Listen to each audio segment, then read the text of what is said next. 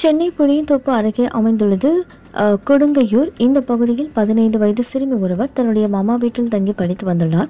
அப்போது அவருக்கும் அந்த பகுதியைச் சேர்ந்த பதினேழு வயது சிறுவனுக்கு இடையே பழக்கம் ஏற்பட்டுள்ளது. இந்த பழக்கம் நாளடைவில் காதலாக மாறியுள்ளது. சிறுவனுடன் சேர்ந்த சிறுமி அடிக்கடி வெளியில் சுற்றி வந்துள்ளதாகவும் கூறப்படுகிறது.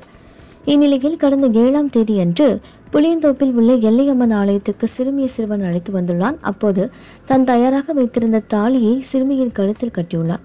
தாலி கட்டியது மட்டுமன்றி சிறுமியின் நெற்றியில் குங்குமம் வைத்து அழைத்து சென்றுள்ளான்.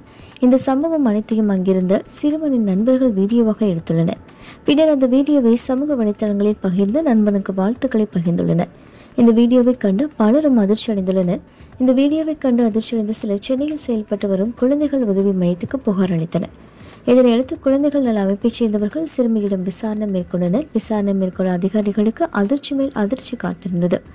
குழந்தைகள் நல அமைப்புடன் சிறுமியிடம் மேற்கொண்ட விசாரணையில் அந்த பதினேழு வயது சிறுவனுடன் சிறுமி பலமுறை தனிமையில் இருந்துள்ளதாக கூறியுள்ளார்.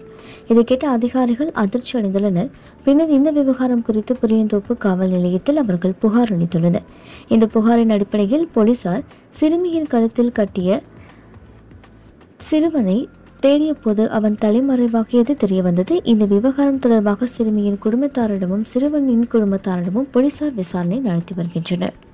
எங்களுடைய நிகழ்ச்சிகள் உங்களுக்கு பிடித்திருந்தால் உடனுக்குடன் கண்டு மகிழ. எமது சேனலை சப்ஸ்கிரைப் செய்து அருகே வரக்கூடிய பெல் பட்டனை அழுத்தவும். எங்களுடைய நிகழ்ச்சிகள் உங்களுக்கு மிகவும் பிடித்திருந்தால் உங்களுடைய நண்பர்களுக்கும் ஷேர் செய்யவும். நன்றி.